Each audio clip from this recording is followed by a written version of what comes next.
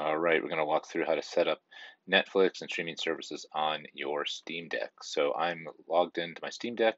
First thing I'm going to do is I'm going to go to Menu, and I'm going to get to go to Power, and the goal here is to get to the desktop mode. So you can switch to desktop. Uh, one assumption here is that you have set up uh, EmuDeck. It comes ready to roll right there. If you have not set this up, um, I have another video to show how to do that. And it's really for emulators, but it also takes care of streaming services too. So when you log on to EmuDeck, you're going to go down to Cloud Services. And you're going to then select Manage Cloud Services and then hit Select. I'll be honest with you, I'm not a big fan of this interface. I think there's a lot of things that are kind of janky here, but uh, this seems to be somewhat straightforward. So we're going to go to, I'll click Netflix. I'm also going to do HBO Max. Uh, this part is simple.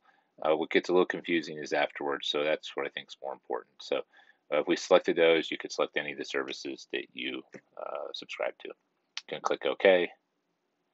You're going to quit out of here. It's going to say, hey, by the way, you're going to use Steam ROM Manager to basically get those services to the Steam Deck. That's the part I don't really like, but we're going to roll with it. So hit OK. We're going to close out of this, so we'll quit this.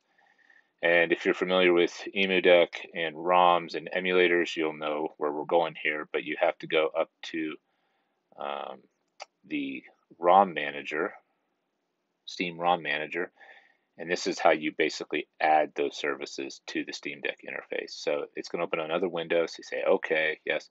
And here's the catch. You're going to see these parsers. I don't like how this looks. I don't like what they're, how they're called that.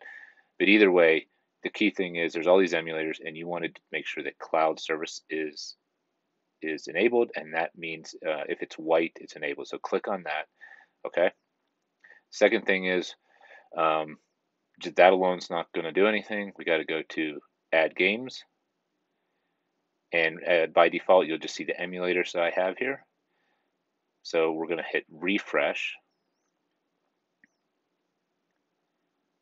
And this does work well. I just don't like the naming and the interface, I guess. Now we can see HBO Max Netflix, but it's still not, it's just showing there. But we want to get it to our Steam Deck.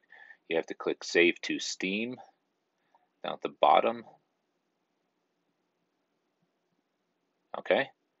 All right, that's good. Now we're going to go back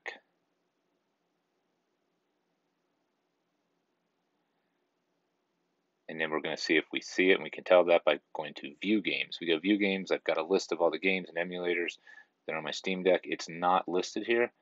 Hit Refresh Games, and hopefully you will see it. So it does work really well. Um, it, it just, I don't like uh, the, the, the steps here. It's confusing. So I hit Refresh Games, and now you can see I got HBO Max, and Netflix is listed too. So at this point, I can go back, I can close all these things, and I can go back to uh, gaming mode, which is my you know main Steam Deck interface. So at the top there, there's a nice shortcut, return to gaming mode, click on that.